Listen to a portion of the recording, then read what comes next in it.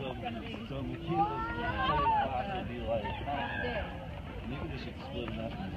When?